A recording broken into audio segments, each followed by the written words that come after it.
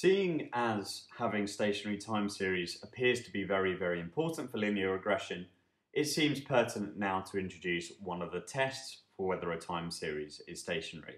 Or specifically for the Dickey-Fuller test for a unit root, what we're actually testing as our null hypothesis is that it, our time series is actually non-stationary.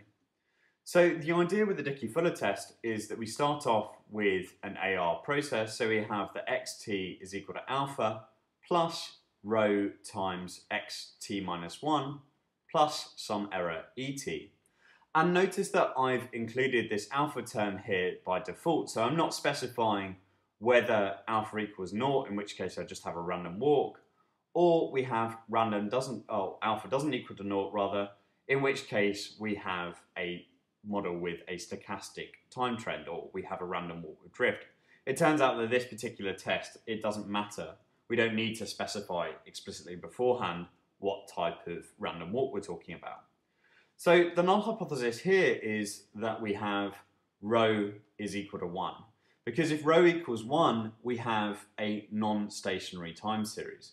And the alternative hypothesis here is going to be that rho is less than 1, because if rho is less than 1, we've already proved that our particular time series, or AR process rather, is stationary. Okay, so you might think that a way to go about testing this would be just to test rho here and test whether rho is different from 1.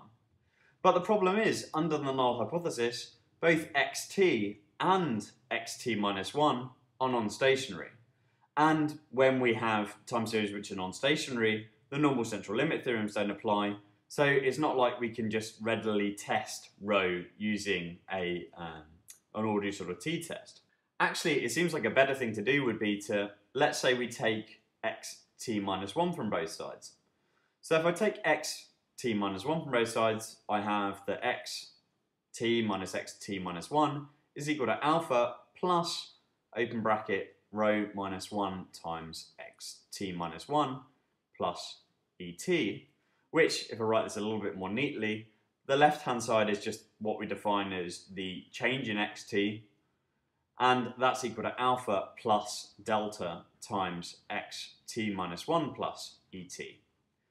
And notice that under the null hypothesis here that rho equals 1, this particular term, this delta term here, would in fact vanish. So we wouldn't actually have this xt on this side here.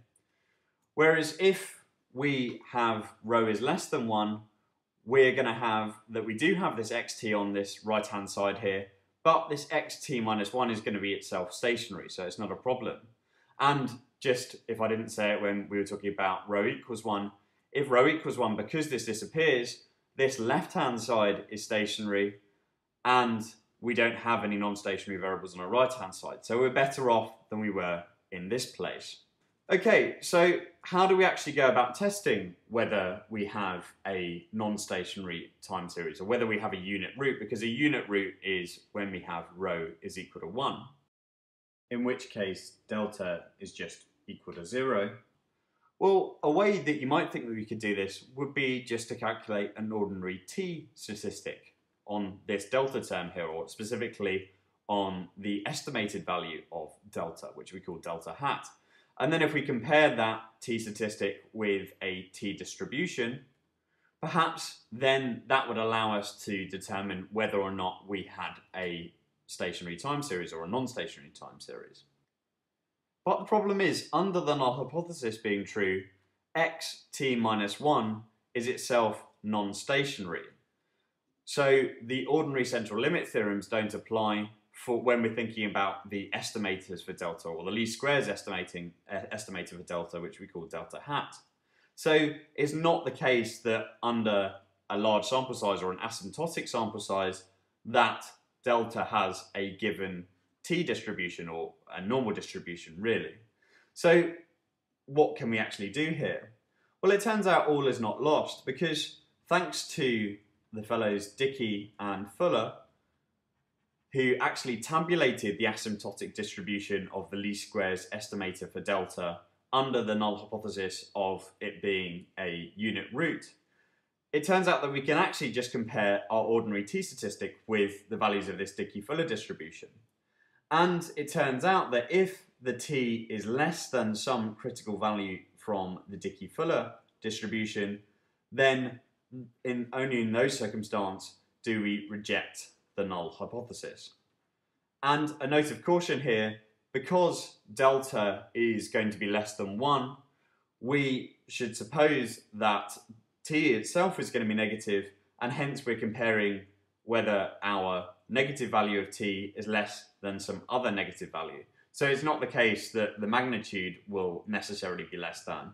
It is that the absolute actual true value of the t will be less than. So let me just say that again. It is that the t value itself will, in real value terms, be less than the Dickey-Fuller critical value.